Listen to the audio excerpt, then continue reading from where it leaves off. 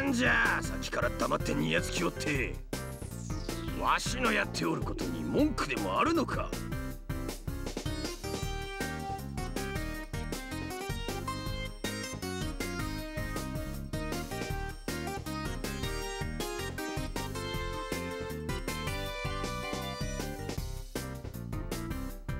いやじいさんが少し誤解してるから。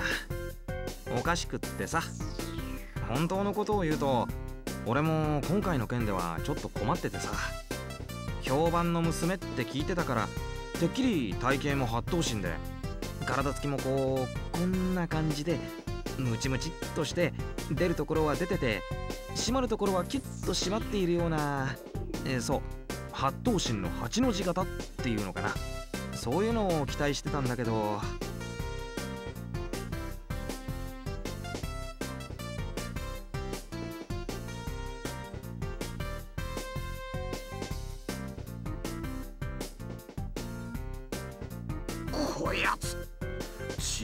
の目の前でどこまで下品になれば気が済むんじゃ。この恥知らずゲスが。だけど実際に来たやつがこんなですっかり困っちゃってさ。これじゃあ仕方ないからやつにはここの管理人でもやってもらって一日中じいさんやばあさんの相手でもしてもらおうかなんて考えてたんだけど。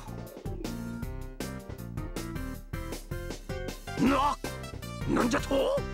そそんな嬉しい喜ばしい計画を。本当か？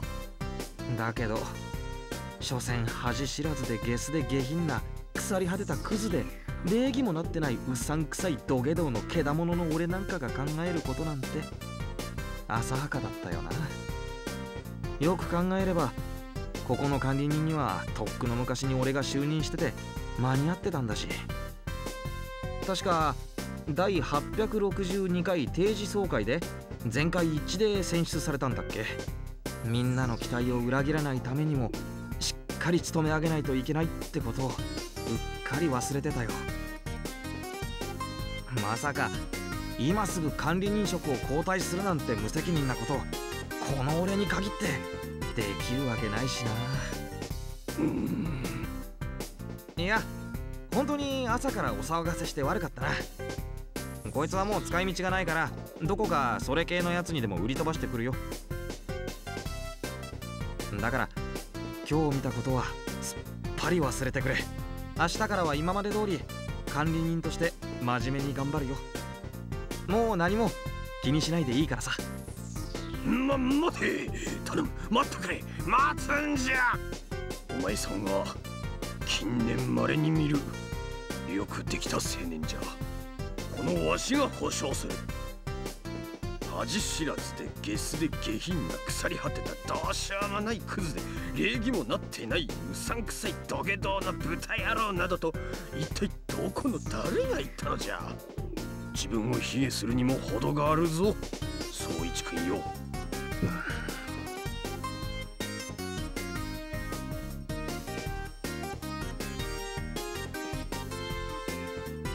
実はな君ほど高潔で高邁な精神を持ち豊かな才能に恵まれた将来性にあふれる若者をマンション管理のようなさじで暴殺させるのはいかがなものかと。この町いやこの国それどころか全人類の損失ではないかと。かねてから総会でも異論が噴出しておってな。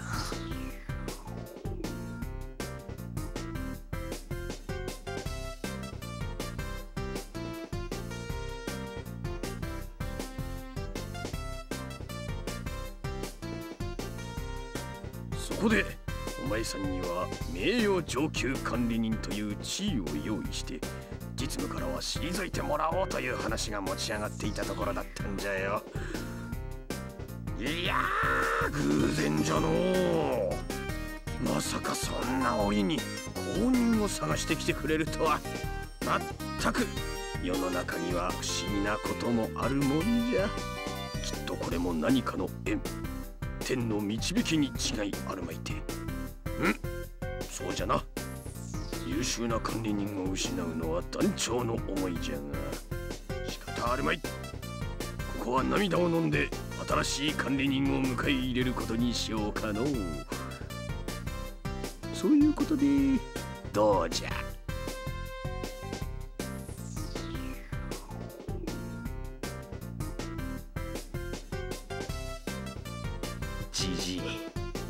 なんじゃ。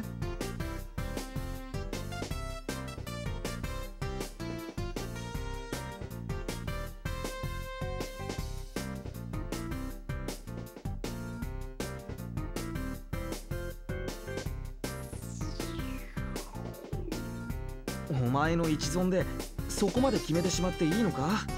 こういうことこそ定時総会できちんと話し合うべき話題じゃないのか。もちろんじゃこの件についてはこれからじっくり話し合う予定じゃ。ということは承諾してくれたということかな？まあな。ああ言っておくが。将来性ある若者の俺を長ったらしい会議で煩わせようなんて思ってないだろうな。俺は何と言われようと欠席するからな。七海を連れて行くのは勝手だがあとはお前らで気の済むまでやってくれ。分かっておる分かっておる。皆まで言うな。ななみちゃんさえよこしてくれればお前さんなんぞもう用済みの粗大ゴミみたいなもんじゃ。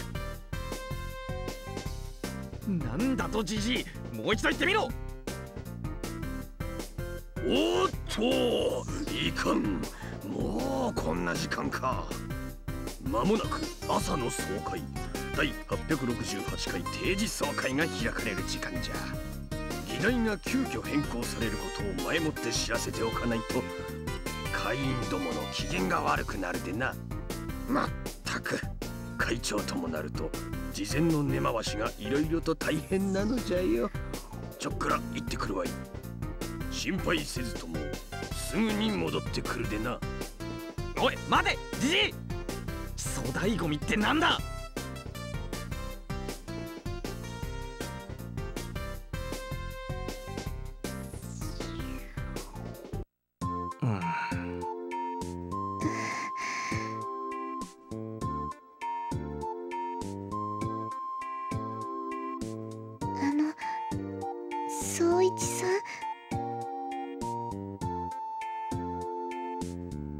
騒がしいじじいだったな。あ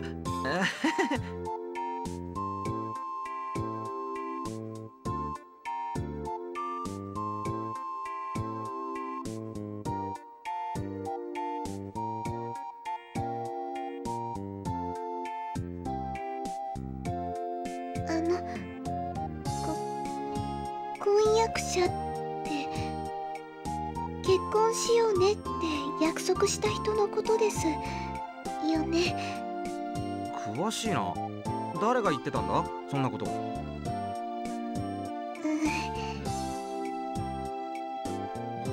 ゃあ町工場の一人娘とか。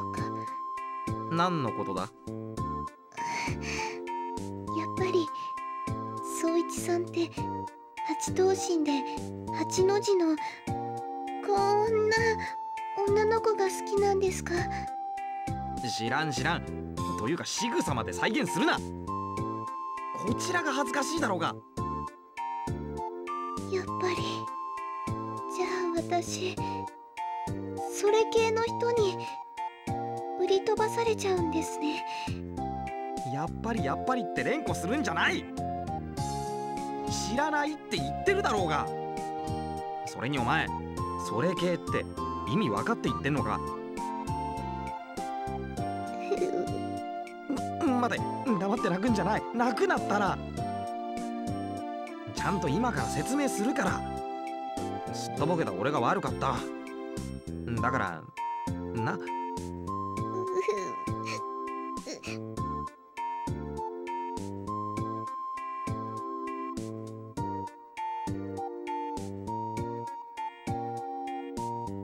俺の職業がエージェント。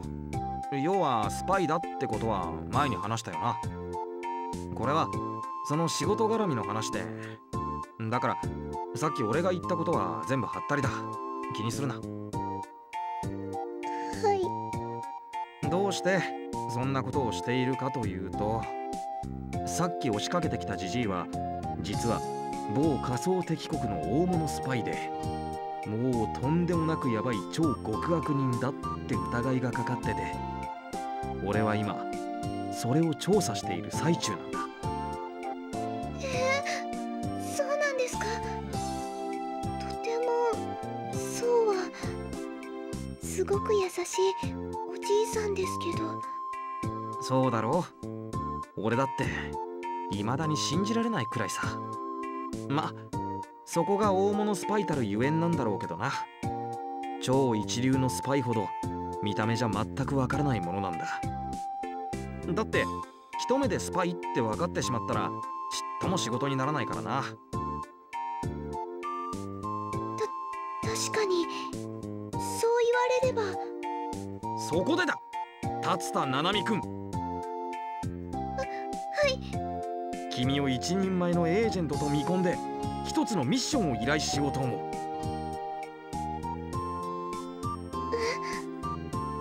つまり仕事を頼みたいってことだよ。一人前のスパイの仕事をさ。すごいです。一人前のスパイのお仕事ですか？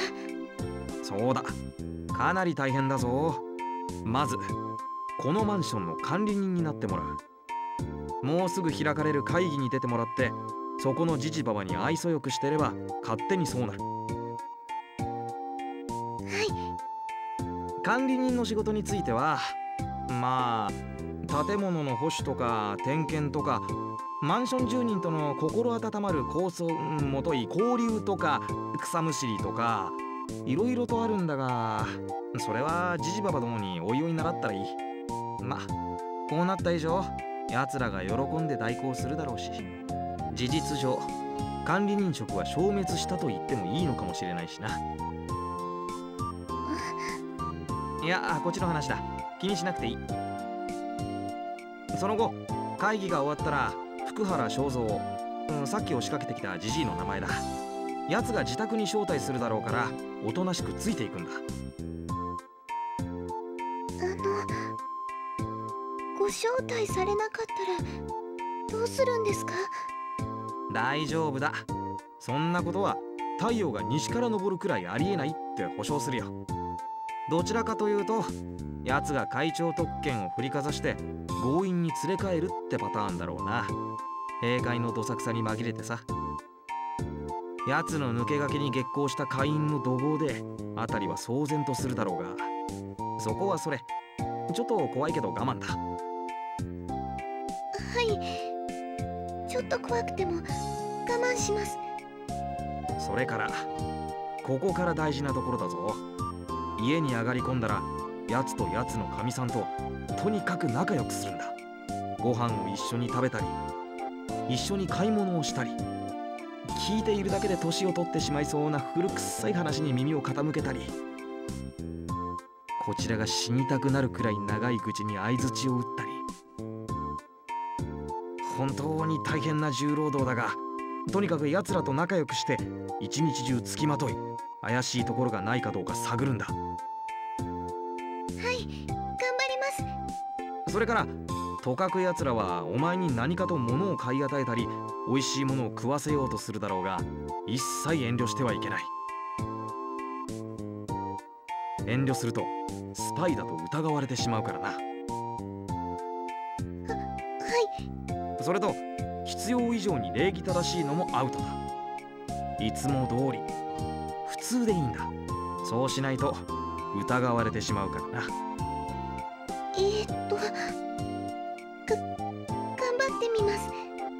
いいか？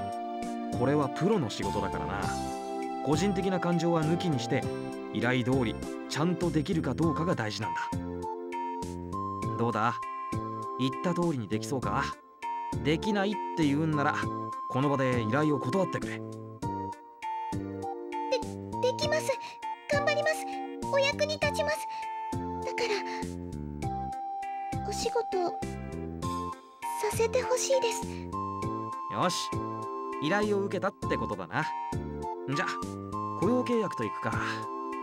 えっと履歴書はと。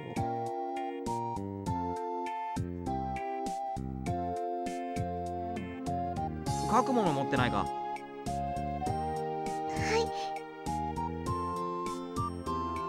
い。とりあえず週休2日で8時間労働ってことでいいかな勤務時間は奴らの都合に合わせるという感じで。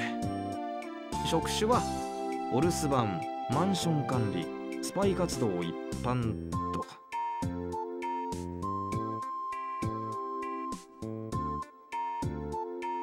給料はと。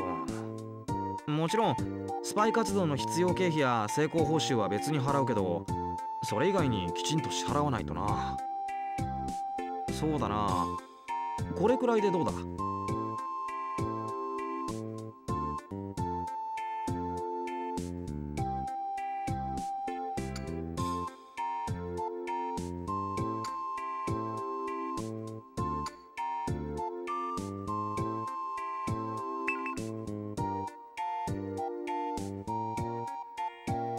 えっと。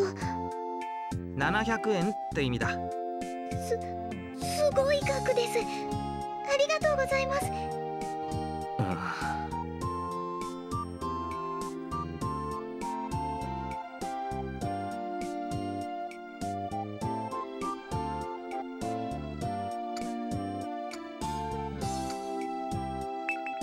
なんてな。今のは冗談だ。本当はこれぐらいのつもりだったんだ。え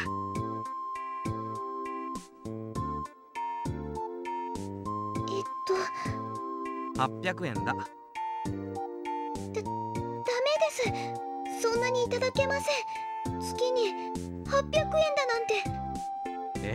なよ。確かに前世紀末の基準じゃそこそこいい額かもしれないが。インフレの進んだ現代じゃどんなしょぼいバイトだってこれくらいは払っているんだ。全然普通だぞ。ってちょっと待て。はい？ナナミお前は俺がいくら払うと思って断ったんだ？えっと月に800円ですよね。ふざけてんのか？ごめんなさい。ひょっとして2ヶ月分だったですか？違う！そうじゃなくてその逆！もっと短い期間に決まってるだろうが！じゃあひょっとしてに2週間だとか？違う1週間よりももっともっと短い単位を知らないのか？そそんな。じゃあひょっとしてひょっとしたらいい一日に800円だとか。違う！1時間に800円！時給800円だ待てこら。いきなり目を回すな。まだ契約が済んでないだろうが。こんなところじじいにでも見つかってみろ。俺はもうおしまいだ。よくわかっとるようじゃのう。何金で落とせないと分かったら速攻で意識の方を落としたか。わしが席を外したほんのわずかな間にここまでやらかすとは相変わらずどうしようもないクズっぷり。全く危ないところじゃった。戻ってくるのがあと少し遅かったら何が起こっていたことやら。何も起こるかボケ！いつから見てたかは知らんがこの場のどこをどう見たらそんな風に解釈できるんだ！はあどいつもこいつも！厄介事ばかりこの部屋に持ち込みやがって！もううんざりだ。とっとと連れてけ。俺の気が変わらないうちにとっとと連れて行ってしまえ。総会でも何でも煮るなり焼くなり好きにしてついでに貴様の孫にでもしてしまえばいいだろう。言われなくてもそうするつもりじゃ。では失礼するぞ。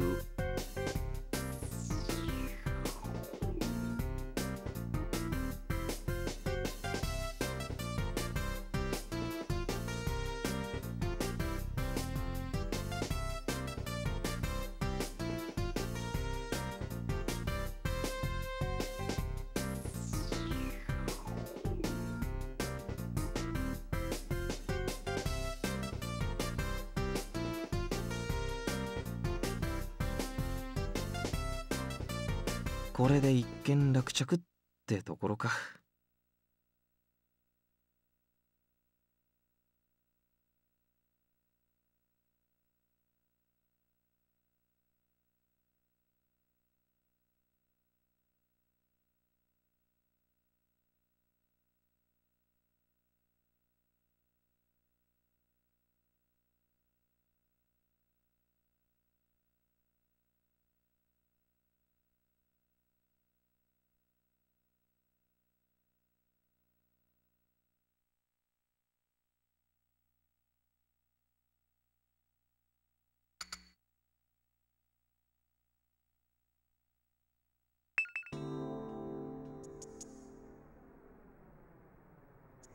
ハーバーサンプルとはちょっとしたホークロアだった。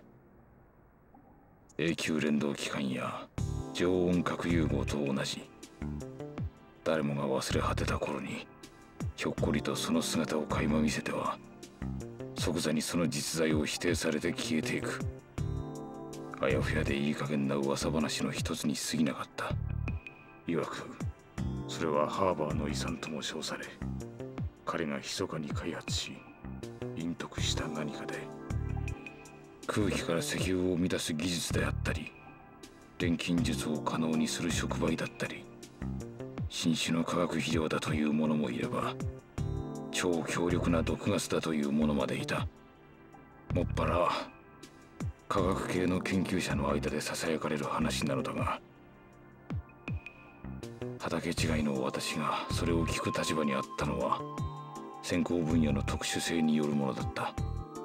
当時統合地球科学という分野は現在ほど確立しておらず設備も人材も十分でない頃でその名の通り地質学夜勤学科学物理学を統合していたその内容上他の学科の教授の協力を仰いだり実験設備を強要するために他分野の研究室に出入りするのは日常茶飯事だったのだ。そんなわけで私もこのようなヨタ話を耳にする機会は幾度となくあったがもちろん誰も信じているわけではなくそれはもっぱら実験の合間の退屈を紛らわせるための笑い話に過ぎなかった。もしもそんな笑い話の種が実際に目の前に現れたとしたら人はどうするだろう。私が失笑したハーバーサンプル採掘についてと記された計画書には小さな寄石細工の小箱が添付されていたのを覚えているだろうか。そう。あの中にハーバーサンプルと称されるものが詰められていたのだ。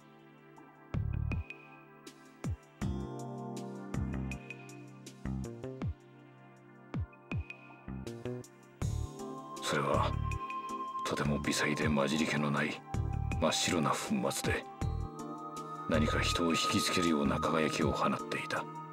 箱の中にはどこかの古物商の書き付けも入っておりその黄ばんだ紙片によるとこの粉末はあのメテオール号によって大西洋中央海洋上で採取された堆積物に含まれていたものでかつてハーバーによって発見され抽出生成されたものだということだった。これだけでも十分うさんくさい話だったがそれを一層ことするかのように粉末が入手された経緯をまるで骨董品の由来書きのように書き添えていた。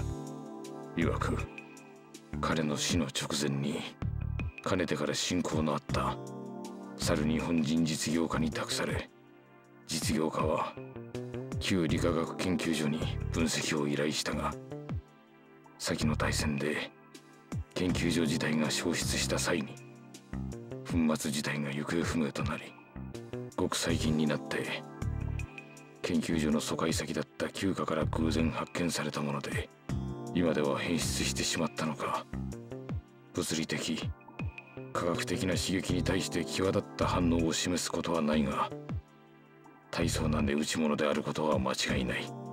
などと無責任な言葉で締めくくられていたその書きつけを鵜呑みにするわけはなかったが念のために少量を成分分析にかけてみることにした。この結果がなかなか傑作だった。主成分はアルミニウムや鉛やマグネシウムの計算化物。要は岩石が細かく砕かれてできる粘土。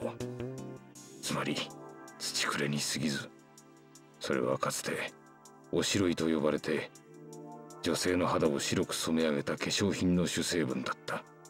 道理でどこか引きつけられる白さだったわけだ。最初から騙すつもりだったのかそれとも何かの間違いで旧家にしまってあったおしろいが幻のサンプルへと化けてしまったのか。おそらく地味な研究課題よりハーバーサンプルという俗でセンセーショナルなタイトルの方が目を引きつけやすく国や企業から支援を受けやすいことを計算したのだろうがなんと子供騙しなサンプルを送ってよこしたものだ。と考えたものだが経緯はどうあれそれが当時の私にとって笑い話の種でしかないことは間違いなかった。